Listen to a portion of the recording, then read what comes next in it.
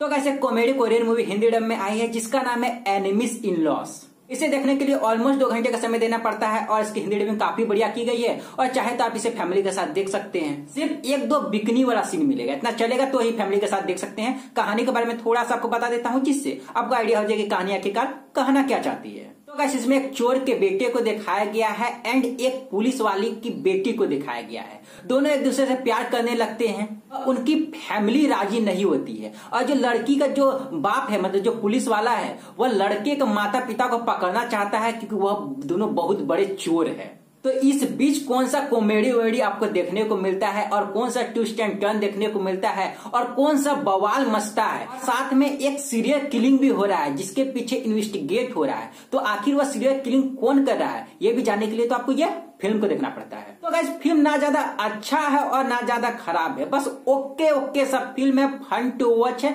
मज़ा आता है, पर यदि आप अपने एक्सपेक्टेशन को कम कर लेंगे तो मज़ा आएगा, आपको अच्छा खासा इंजॉय मिलेगा इस फ़िल्म को देखकर। पर आपको अपने एक्सपेक्टेशन को कम करना होगा। सबसे पहला बात, इसमें आपको कुछ भी नयापन देखने को नहीं मिलता है। मतलब इसकी स्टोरी आपको कुछ भी नयापन नहीं देती है। आपने इस टाइप का स्टोरी बहुत बार एक्सपीरियंस किया होगा। दूसरा फ़िल्म का लेंथ आपको थोड़ा सा फील होता है। एंड कहीं कहीं पर फ़िल्म थोड़ा सा स्लो हो जाती है।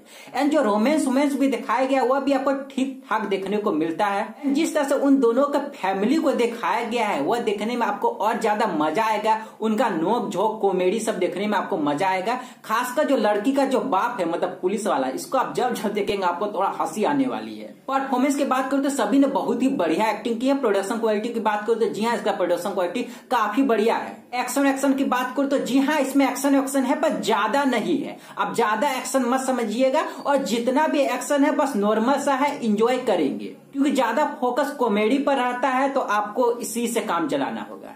तो अगर इस फ़िल्म को लेकर मैं फाइनल वर्डिक्ट है कि फ़िल्म ठीक ठाक है, आप इसे देख सकते हैं। टाइम वॉचेबल मूवी है, देख सकते हैं इंजॉय करेंगे, पर अपने एक्सपेक्टेशन को कम कर लीजिएगा। एक बार फिर से बोलूँगा कि कुछ बिकनी वाला सीन है, इतना चलेगा तो फैमिली के साथ देख सकते हैं। तो मिलते हैं एक नए वीडियो तक के लिए जय हिंद, वंदे मातरम।